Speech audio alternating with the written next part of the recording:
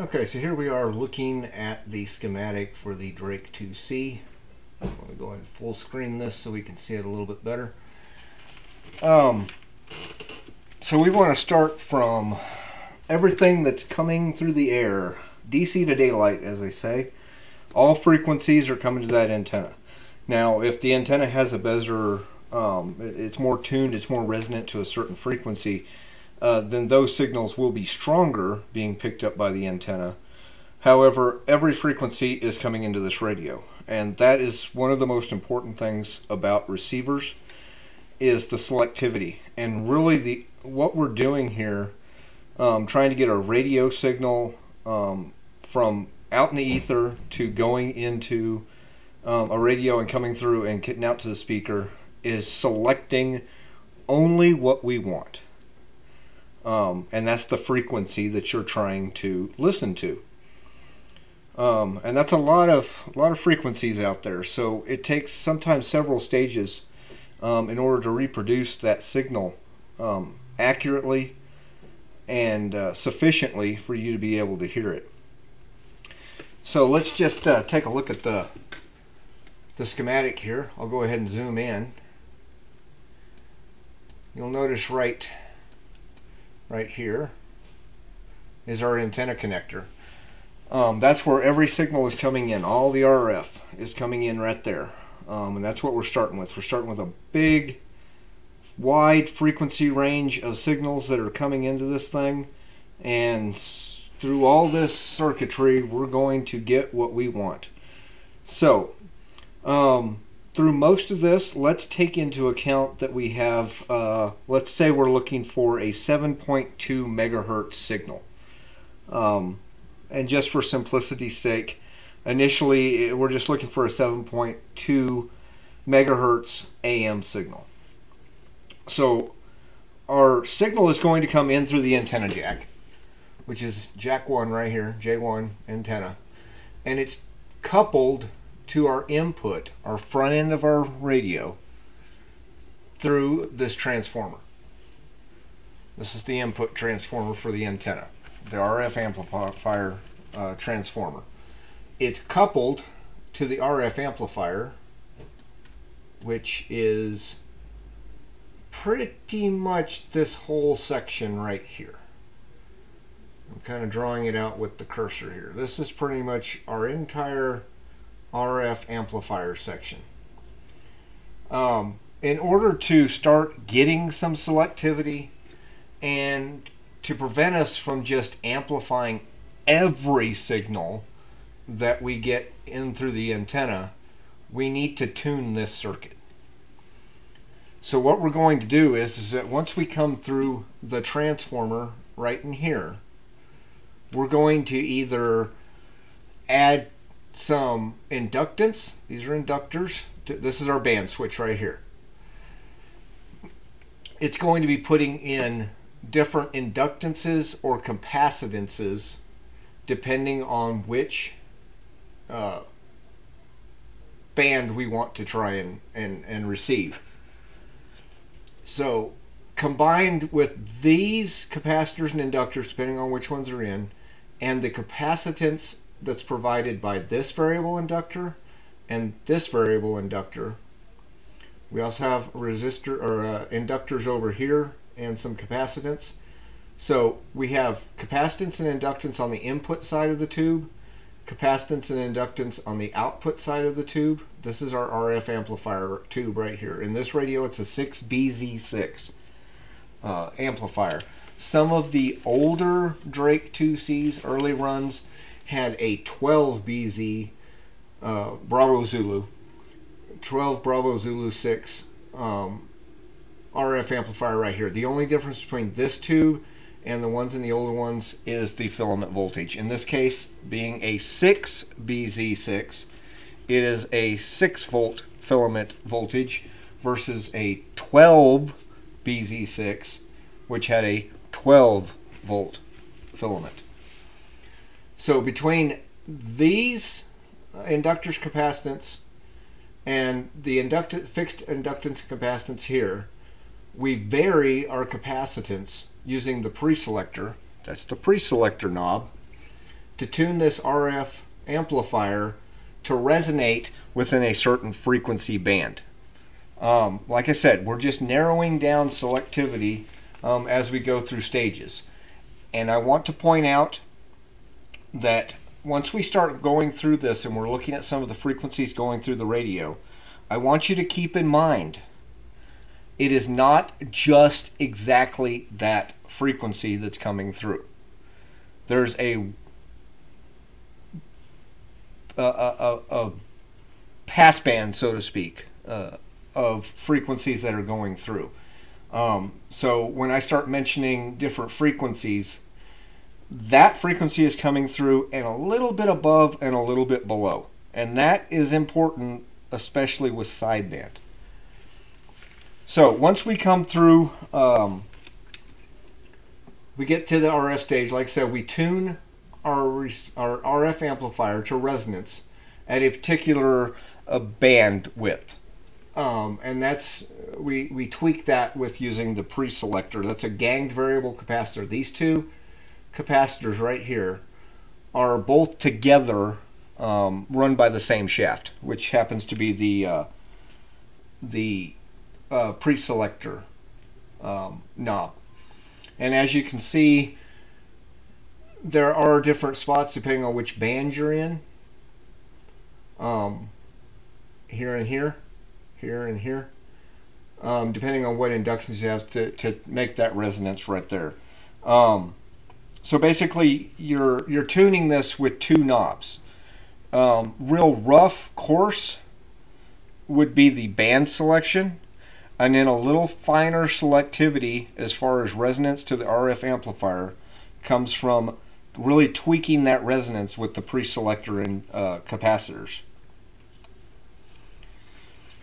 So once we come, we get to the RF amplifier stage, uh, our signal's coming in right here. As you can see, it goes through the transformer.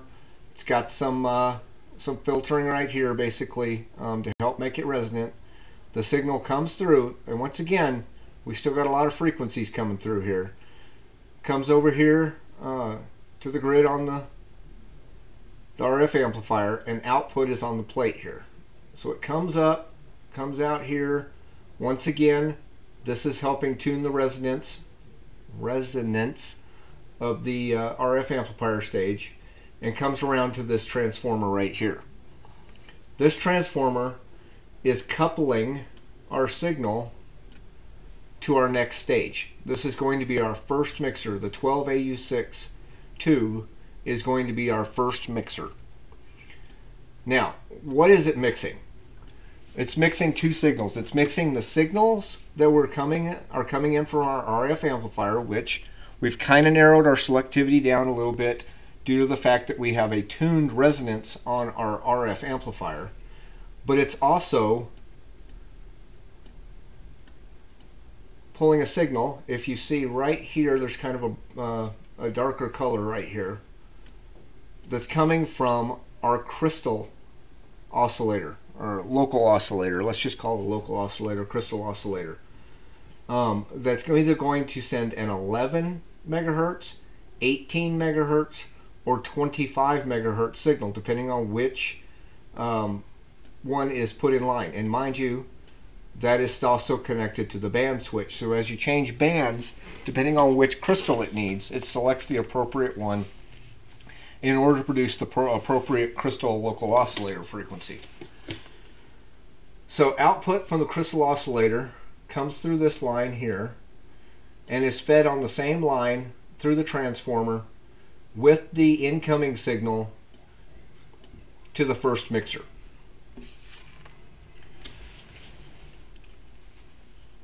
So once you start mixing signals, you end up with two products. Um, you're either when, when you mix signals, you, they either add together or they subtract. So those two frequencies that come out of the uh, the two signals is matching. So in this case, um, we're using 2.5 or uh, correction, uh, 7.2 megahertz. So we got 7.2 is what our goal is, and we're mixing that with or in this case, 11 megahertz crystal oscillator. So if you do the math on that, we can either add them together and we get uh, 18.2 megahertz. Or we can also, they also subtract from each other and it'll produce a frequency of 3.8 megahertz. Now this radio is designed and most receivers typically change the signal and convert it down. The reason for that is, is we're trying to go for a frequency that is easier, easier to filter and is easier to amplify. And especially in older radios like this, with the technology they had, lower frequencies are easier to filter and easier to amplify due to the technology.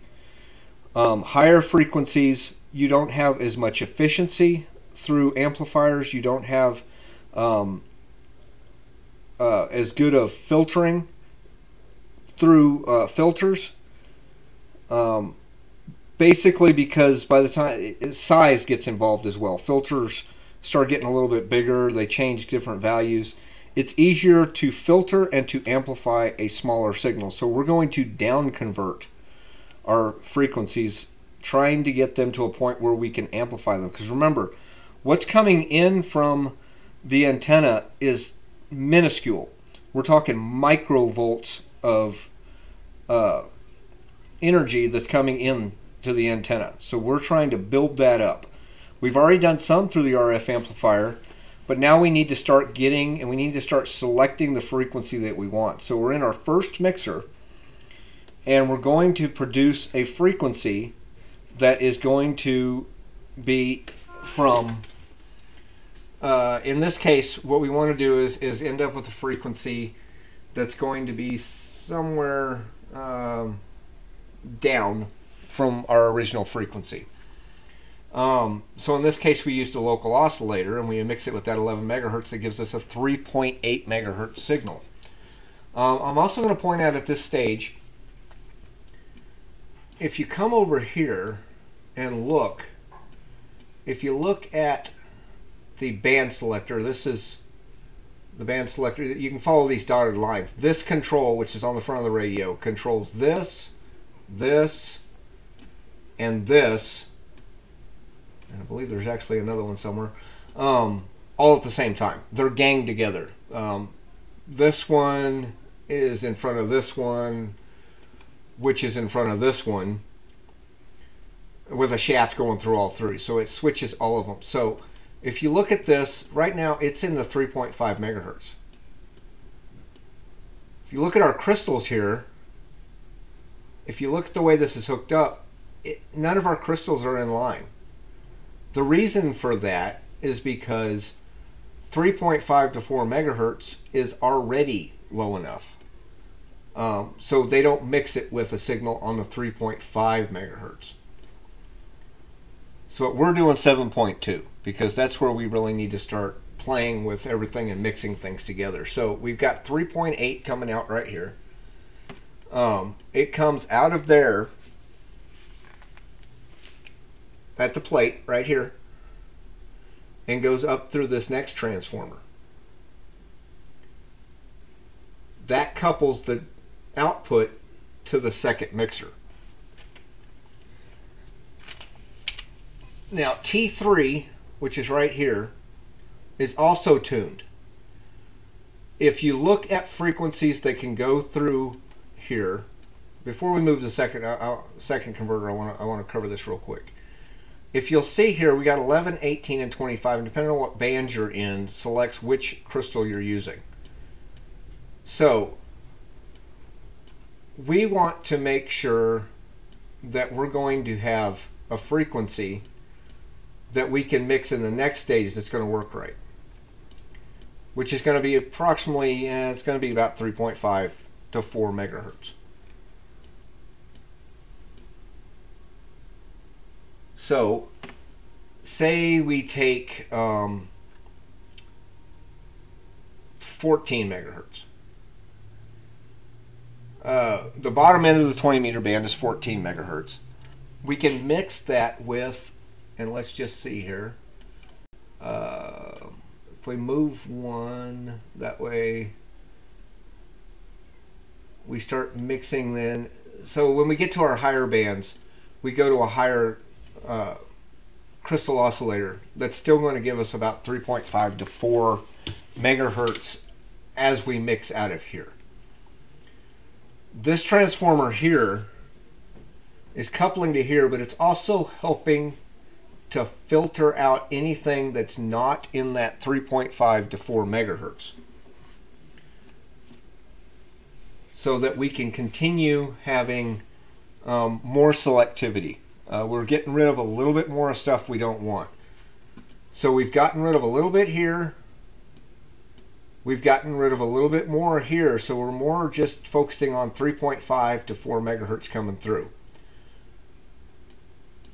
Here, this is our second mixer, the 12BE6. It's a mixer and VFO. So we're mixing two signals. Again, we got our input signal. In this case, since we're using 7.2 megahertz, we have a 3.8 megahertz signal that's coming into uh, pin 7. That's also going to be mixed with our VFO signal. Now the VFO signal has a frequency of range of 3.955 megahertz to 4.555 megahertz. When we mix our incoming with our outgoing, we're wanting to produce a frequency that is going to produce our next intermediate frequency. And this is a set intermediate frequency. T4, which is on the output of the second converter, really only wants to pass 455 kilohertz. So we need to mix a signal with our 3.8 that's going to produce 455 kilohertz once they're mixed.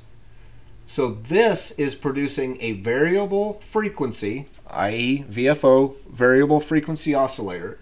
It's an oscillator that can change frequency. Um, between our ganged uh, ca capacitors, and we do have a set one here to help fine tune this so it rolls uh, in accordance with uh, some other stages of the radio, which come later. Um, we want to mix this with our 3.8 coming in. Now, in this case, you can mix, like I said, anytime you mix a signal, you get two two results. Um, but really, we're just trying to find one that's going to give us 455 megahertz. So, if the VFO produces a frequency of 4.255 megahertz, which is produced in this purple area right here, it will mix with our 3.8 and produce a 455 kilohertz signal out the plate. Now, it's also going to produce a, a frequency that's higher than that, but we don't really care about that. I mean, what would that be? Uh, 5.055 megahertz? Well, this is going to kind of help keep that from going through. So only the 455 comes out it's coupled through this tran this transformer here. As, as you can see, there's no physical electrical contact between the plate and our next stage. Um, even we have capacitors right here that are blocking a direct conductivity through there. So it's coupled through this transformer.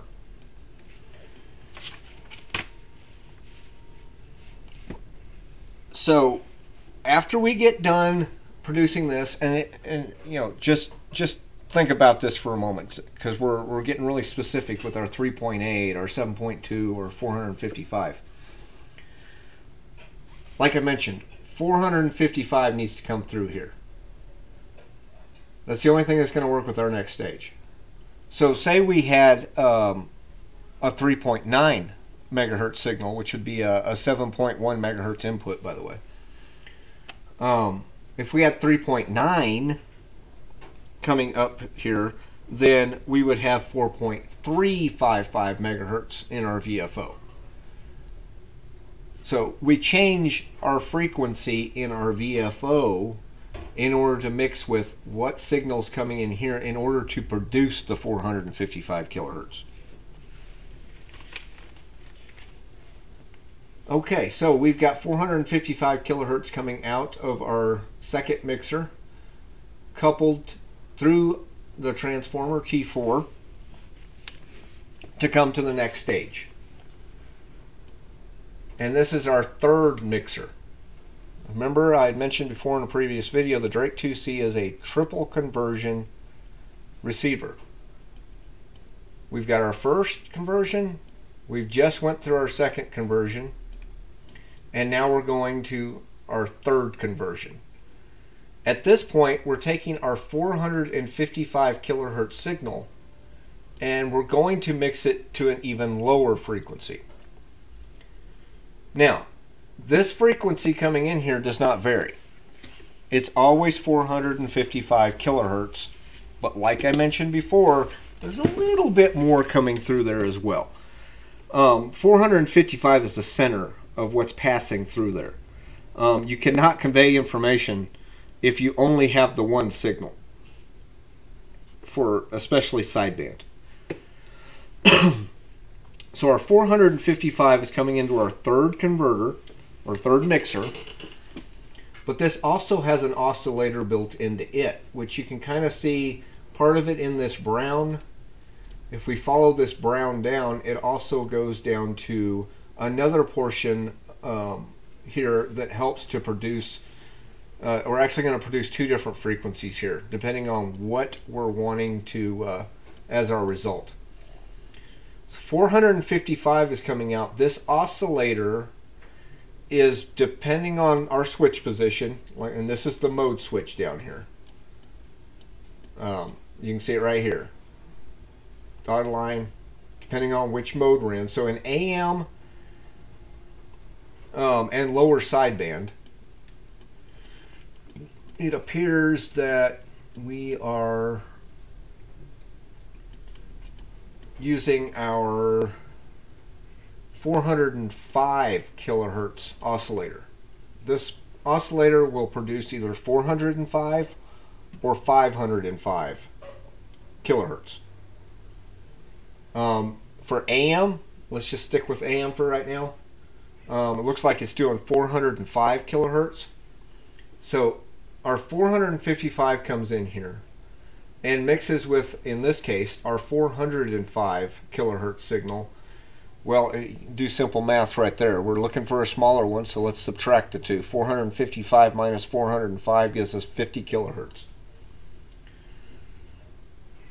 Now the 505 it uses in the upper sideband because we want to. It's still going to produce a 50 kilohertz uh, IF intermediate frequency, um, but we do need it to be in the upper sideband. We also need it to be the higher one so that we, when we do our subtraction, um, depending on the sideband signal that's coming through, um, we'll still have our information. Um, once we get to here, we've done 455 and mixed it with the 500, in this case 405, because we're going to do an AM, is going to give us a 50 kilohertz signal coming out. Coming out of the plate here, we go through our passband selector. And if you remember on the front of the radio, we had a passband switch that had a 4.8 kilohertz, 2.4 kilohertz, or 0.4 kilohertz selectivity um, as far as passband. Um, so that's going to let, uh, like I'd mentioned before, it's not just the frequency, the 455 in the previous section, or it's not just the 50 kilohertz that's coming out of uh, the plate, pin 5, on our third mixer. There's a little bit of a bandwidth there. It's probably. Um, I don't know, 10 kilohertz, 15 kilohertz. I'm not really sure. It could be 20 kilohertz. But this is going to tune it so it does a pass band. In the 4.8 kilohertz selection, it has very steep skirts if you looked at the graph. Um, centered on 50 kilohertz. it's going to have um, above that and below that um, 2.4 kilohertz on the 4.8 kilohertz band uh, band pass. The 2.4 obviously would kind of go um, a little bit well. It's probably 4.8 above. but it trims it down a little bit. Helps get rid of um, some of all them other frequencies that are still trying to roll through the, the mixer and they're producing um, frequencies above and below our IFs.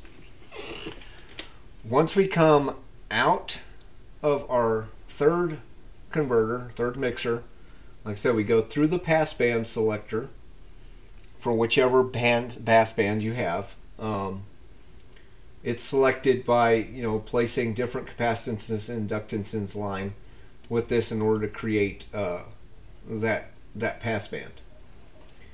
And let's keep following the green here. We go through our passband and it comes out. Um, it's got a little coupling capacitor right here. And let's go ahead and follow this down. This right here is our IF amp. Um, it basically goes to uh, the meter and goes down here to our AVC, right in here.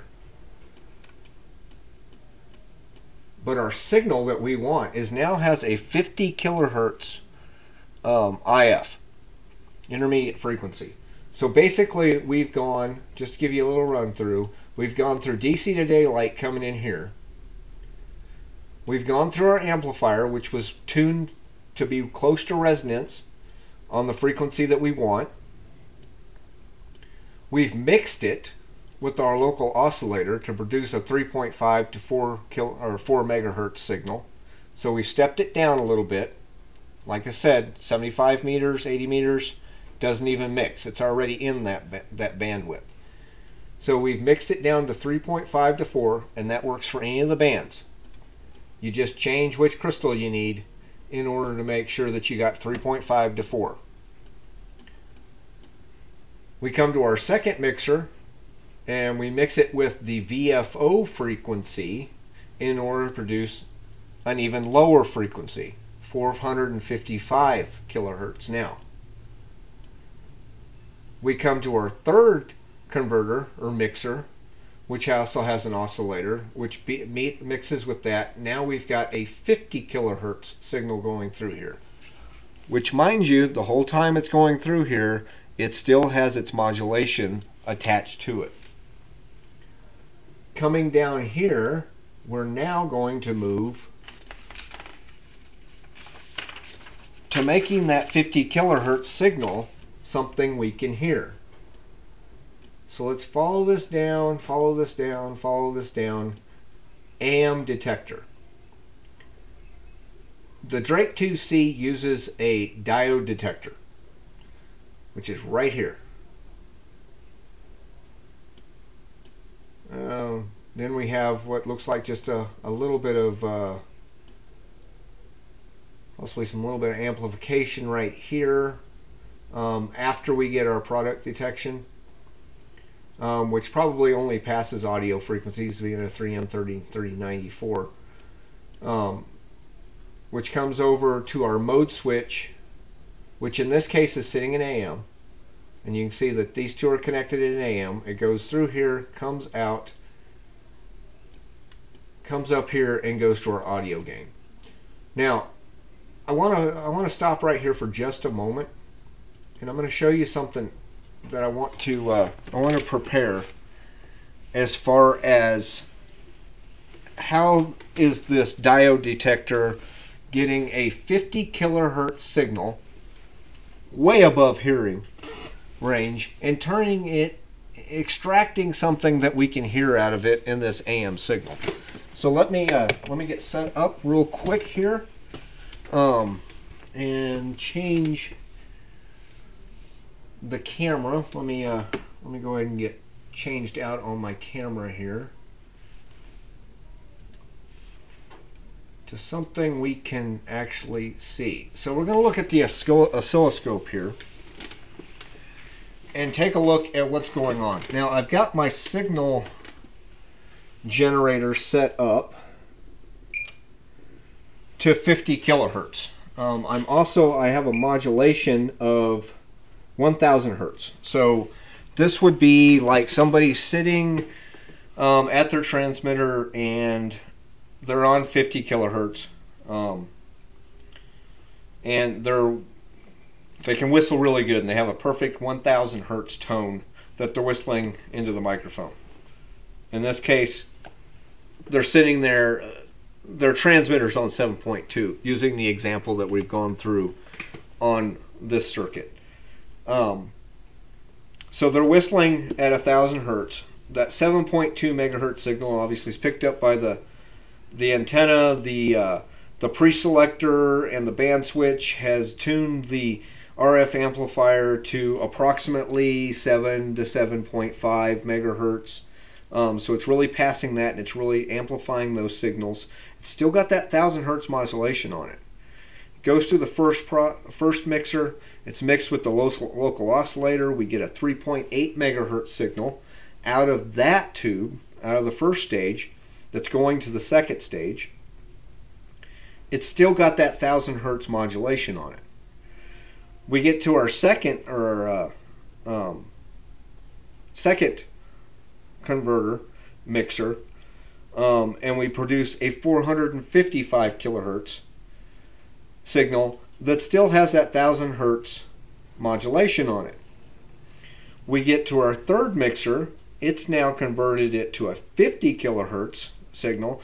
We're starting to get into range that it's easier to filter and easier to amplify things. We've brought it down to 50 kilohertz, but it's still got that 1000 hertz modulation on it. So at this point, let's take a look at what a 50 kilohertz signal would look like. So I've got my signal generator sitting on 50 kilohertz.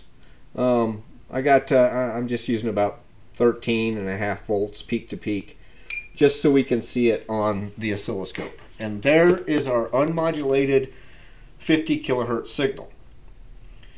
But we have a thousand hertz on it, which is going to make our 50 kilohertz look like that. And you can see in the in the signal, we still got our 50 kilohertz in there, but it's modulating it a thousand times per second. That's what this uh,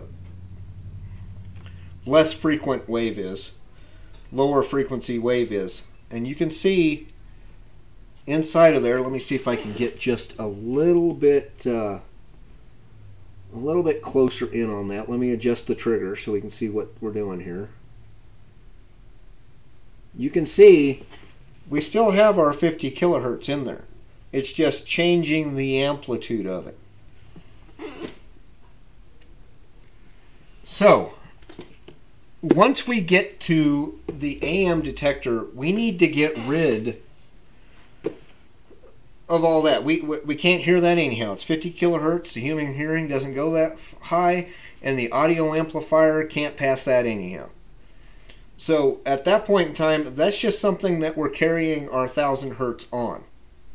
That's where you get carrier when on an AM carrier that's just the carrier wave. That's what we're using to modulate it in order to have something to represent that 1000 hertz on.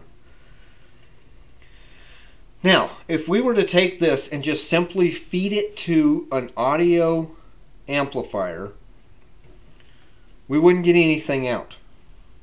Reason being is because an audio amplifier is going to take a voltage and it's either going to make it bigger or smaller.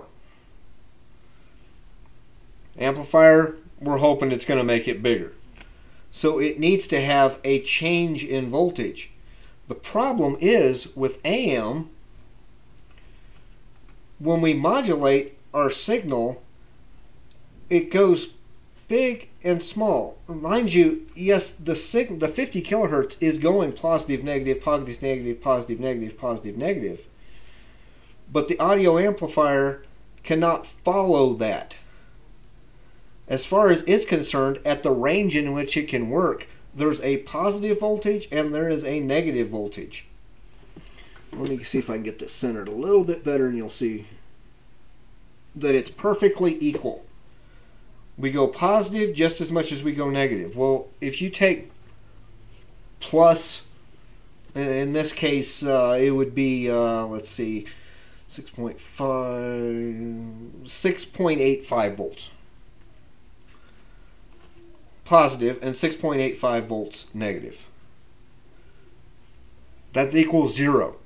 So what would be going to our audio amplifier in the frequency range that it can handle is zero volts. That's constantly zero volts. It's zero volts at this point. It's zero volts effective at this point. It's zero volts effective at that point. It's not going to amplify anything. So we need an AM detector. So what they do is, is they put a diode in line. That's going to take approximately half of our signal, either the positive or the negative, and get rid of it. In this case, we're going to try and get rid of the negative side of it. So bear with me, a little bit of jittering and stuff probably going on on the oscilloscope here in a minute, and I'll have to retrigger it probably, but I'm going to put a diode in line between my signal generator and the oscilloscope. So we can basically pretend like we have an AM detector, and in fact it is an AM detector. Um, the only difference is, is that this diode I'm going to be used, which is a switching diode, so it's a fairly high frequency switching, um, but it is silicon. So silicon diodes do have a larger voltage drop than uh, what's in this radio, which would be a germanium diode. So we're going to lose some of our our uh, our amplitude. But let me go ahead and switch that so that now we're going through a diode. Let me see if I can get this to trigger.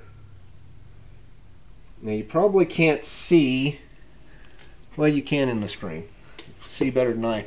So here's our zero line right here if you'll notice and, and, and pay attention to, to like our, our gap here. So we got from like this line to this line is one wavelength. Let me go back to unrect or un back to our original line here. So my note that we have the same this is our one wavelength of our 1000 hertz. But we have positive and negative there. Now we only have the positive portion and just the 1000 hertz. There's a little bit of that 50 kilohertz still in there. But it's not uh, it's not switching fast enough on my diode in order to get a full deal there, which is fine because this is all we need. We don't need the 50 kilohertz. When we're trying to hear it, we don't need the 7.2 megahertz that was originally sent. We don't need the 3.8 that came out of the first converter. We don't need the 455 that came out of the second mixer. We don't need the 50 kilohertz that came out of the third mixer. We just need the 1000 hertz. In this case, that's all the information we need. That's what we want to amplify. So let me go back to this screen. Whoops. Go back to this screen and we'll take a look at this a little bit closer again. So now, AM detector, this diode, that one sole diode right there, is the only thing that's making our AM signal detectable. That's it. it all it takes is one diode. Um, if anybody has ever built an old, uh, maybe got a Radio Shack kit, or um, I mean, even before Radio Shack, they went and and they made crystal radios. Um, that all they they didn't even have a battery in them. They didn't need a battery in them. They had a coil of wire, a long antenna, a ground, and a diode. That's all they were doing. Uh, you can take uh, the 7.2 megahertz and put a and if you could amplify it enough get enough gain off of it you could put just a diode in line with it between it and ground with some headphones in, in between and you could still get the same am signal off of it but it'd be extremely extremely weak it wouldn't be amplified it's hard to amplify that signal to something that you can drive with an amplifier. So in this case, now what we have coming out of this diode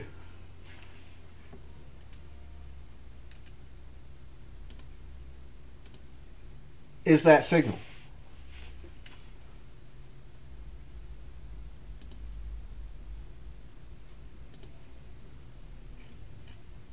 Coming out of there, and then it goes over. This is actually the volume control on the front radio. This audio gain right here, this potentiometer is literally the potentiometer that's hooked to the uh, AF gain knob or the volume control knob. So it's fed through here and then comes in here, runs through some pre-drivers to our final audio output driver or uh, amplifier, which then it goes through the a transformer in order to go to either the speaker or the headphones. All it's doing is taking in our in our example a thousand hertz tone, which is very small still, and makes it loud enough that we can hear it through phones and speakers. And the only reason this transformer right here is here is order to make sure that the impedance output of the audio transformer matches something that you can use for phones. In our case, um, or speaker.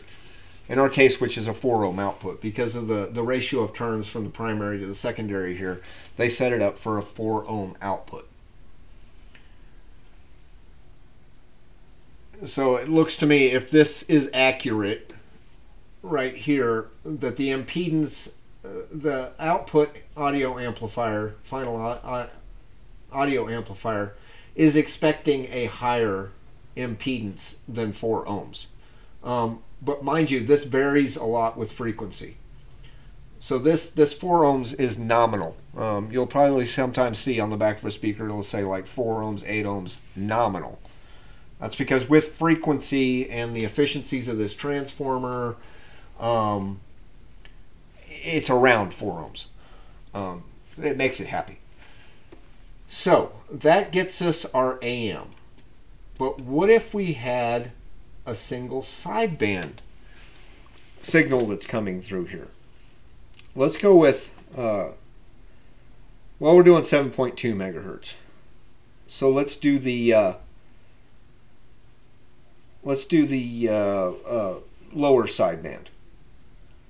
So um, a thousand hertz. So we don't have a carrier. Remember that sideband. We don't have a carrier.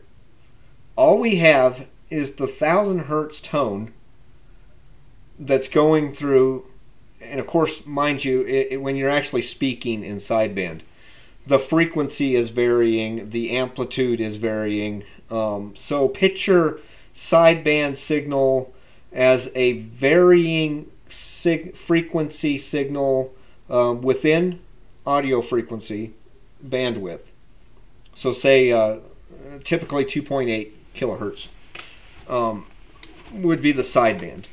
Um, so if I'm doing a thousand hertz tone in lower sideband, uh, mind you, when I when I first produce an AM signal, I have two sidebands. So we're just going to take the lower one.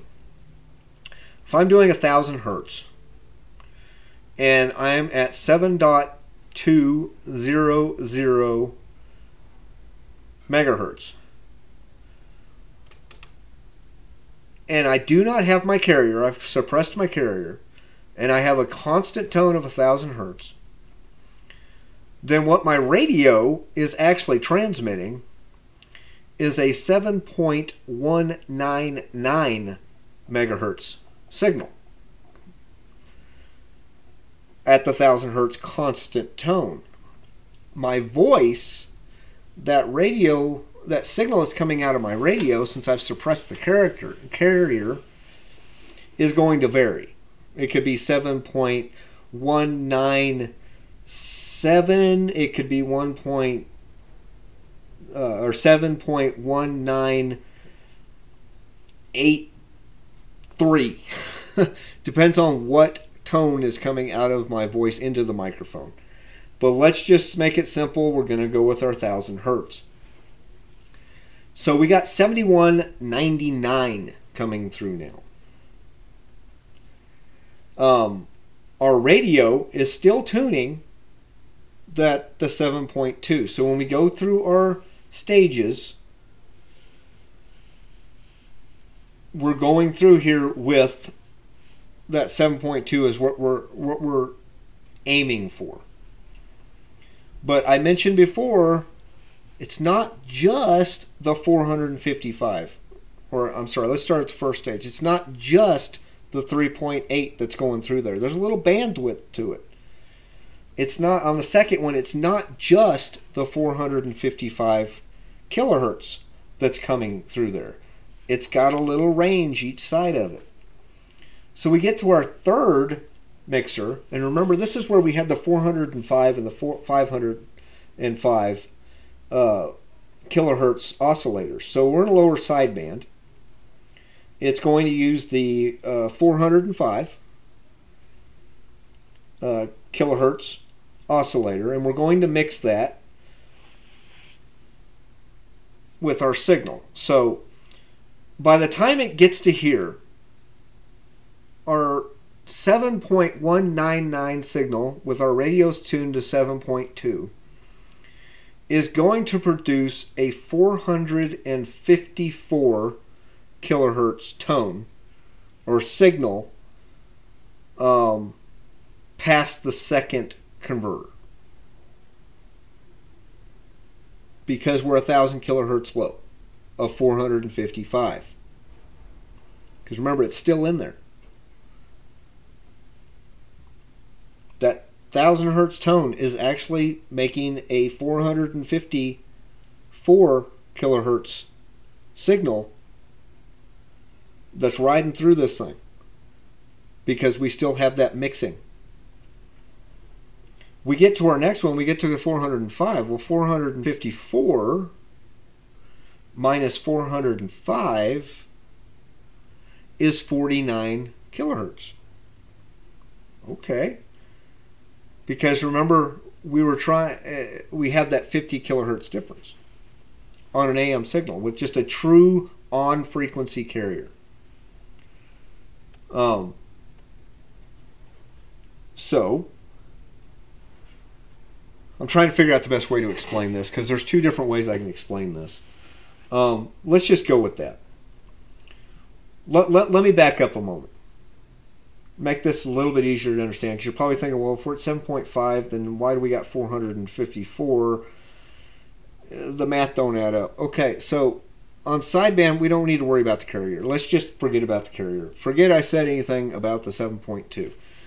Our frequency in that instant, because remember, if your voice is constantly changing, so it's constantly going to be changing. But let's just go with something that we can know and it's set and it's constant, and we'll work with that.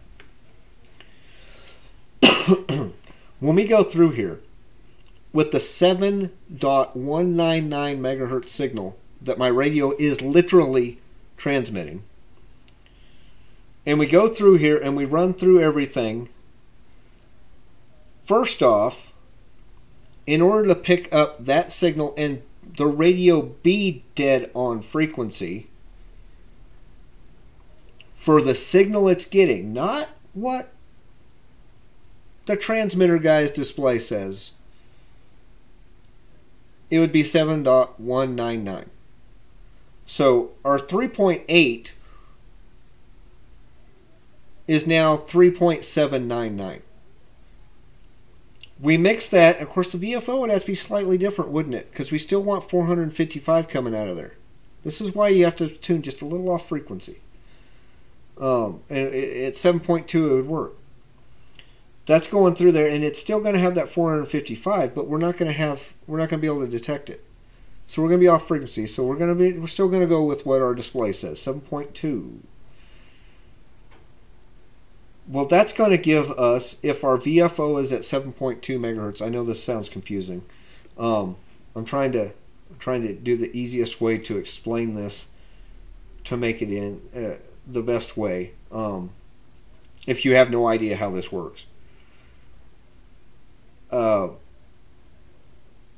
by the time we get to 7.2 and we're we're tuning to 7.2, like I said, you get to you'll have a 454 kilohertz tone making it to the third mixer,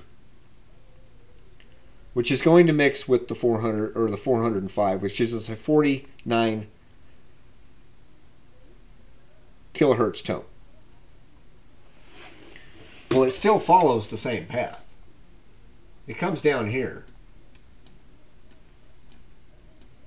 But when we go to sideband, it doesn't just connect these two together to go to the audio stage. So it can't get through here. It can't get through the AM detector. So it goes over here, which basically this kind of does uh, roughly the same thing. But right here is our BFO. Remember, this is right about 50 kilohertz coming through here. This BFO is dead on 50 kilohertz. And it's going to mix with our, in this case, 49 megahertz signal that's coming through here with that 50. Which is going to either, it's either 99, which doesn't work. The audio amplifier couldn't pass that anyhow. Or it's going to give us 1 kilohertz. Remember, we were using 1 kilohertz to begin with? that second beating uh, with the BFO produces a 1 kilohertz signal as well. As well as the 50 still going through there, and it's still got the, uh, it now have the 99 kilohertz. But the problem is they cannot pass through the filtering. And the audio amplifier can't produce it anyhow. So once we get our BFO, I, I'm probably confusing the hell out of all y'all. Um, but we mix the 50 kilohertz in with here, and we're still going to have the one kilohertz left plus the other two, but one kilohertz is the only one that, that the audio amplifier can handle. So it comes, it mixes here and comes in here. Of course, this would be switched over further, which is going to connect this pin to this pin. See if I rotate this, it rotates this, it's going to connect this pin and this pin. Which once again gets us over to the audio amplifier. But the only thing left is the 1000 hertz. The hardest part about describing this, I guess, is the fact that we're just we're doing it as a thousand hertz, which is if it's constant, it, might as well be just a constant carrier, a constant wave, continuous wave. Um, which once again, that's how CW works because it's just putting out a tone. There's no modulation to it.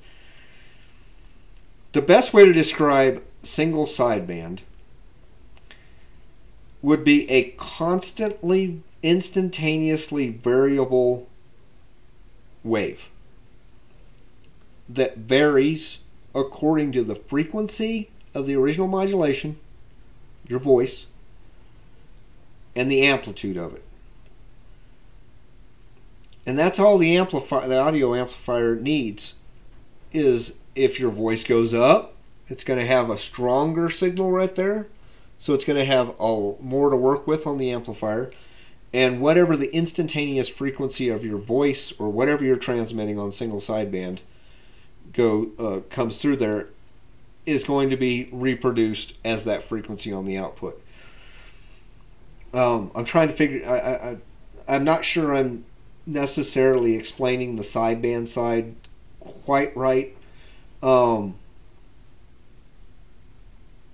but like I said, your your radio with a thousand hertz tone and lower sideband literally is putting out a constant wave of 7.199 because it's a constant 1000 hertz tone.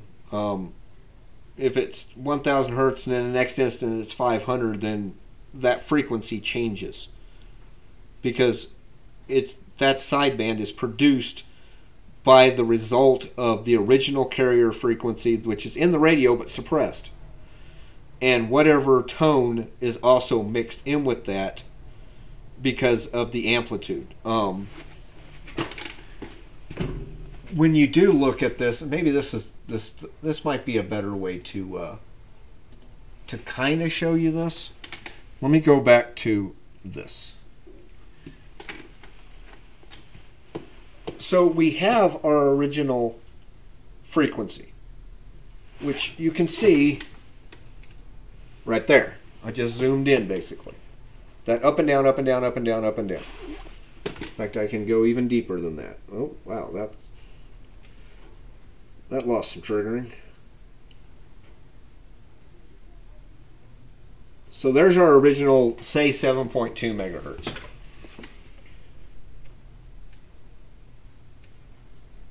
Being modulated, in this case, by a thousand hertz.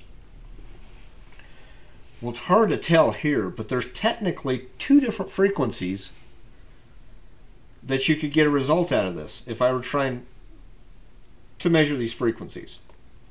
Actually, there's three. There's the original frequency. Let's just say this is 7.2 megahertz. But since I'm modulating it at 1,000 hertz, we have another wave produced here, which is going to produce a 7.201 megahertz because we add the 1,000 hertz and the 7.2 megahertz. Remember, it also subtracts. So we also have 7.199 megahertz. That's the lower sideband. That's the sideband that's below the carrier frequency. When you do sideband, AM produces two sidebands, period. It's got the higher frequency in there, it's got the lower frequency in there. Well, you don't need both because you only need the 1000 hertz conveyed one way or the other. That's why upper sideband is more efficient because we don't worry about sending the carrier. We don't worry about sending the minus if you're in upper sideband or the higher frequency if you're in lower sideband. We just send that tone, that instantaneous tone. So, in this case, we were talking about lower sideband. I take my signal here and I take the the difference between the two, and it gives me the 7.199. If I were to tune literally my radio in sideband on a 1000 hertz tone, lower sideband, if I were to tune, this receiver to 7.1999 or 7.199, I wouldn't hear anything because it would give me the 455 kilohertz IF for my tone at the end of the second converter, which would go into the third mixer or converter, whatever you want to call it, which would give me just a 50 kilohertz signal. Well, there's no modulation to that. It's beating with the 50 kilohertz BFO and giving me 0 and 100. 100 don't pass the audio amp, 0 is nothing. So that's why in order to pick that signal up, I'm actually at 7.2. So basically you can look at it, if you're in sideband, your radio rarely, if ever, and it'd be an extremely low frequency modulation, does not transmit on the frequency that you have it set at. That's just your base that you're either going to add to or subtract from. Either add to to make upper sideband or subtract from is going to be your lower sideband, depending on what the instantaneous frequency is at that instant. So that's a, a little bit easier, I guess, maybe to kind of understand um, what I'm referencing here. Uh, I'm, I'm hoping that makes sense. Um, maybe I need to make a video that's just for sideband instead of trying to skim over it.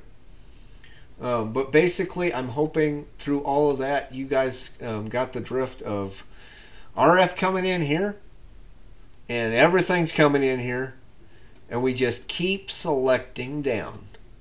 Down converting and selecting down and increasing our selectivity, making it narrower and narrower and narrower, till we get to the point where we can get rid of the RF frequencies and only have the audio frequencies to amplify and send out the speaker. I hope everybody uh, enjoyed that explanation. Um, I'm not sure if I explained it uh, quite the best way, um, but I hope it at least helps you understand how this radio um, does work. Uh, and the fact that, uh, especially in this area of the radio, right here, we can take a relatively small VFO range. Um, what was in this case 39, 55 to 45, 55, I believe, and tune in every frequency in the 3.5, 7, 14, 21, and 28.5 megahertz bands. Using just a less than uh, about one megahertz um, frequency range in our VFO um, and make it selective all the way kind of from the beginning um, with our pre-selector.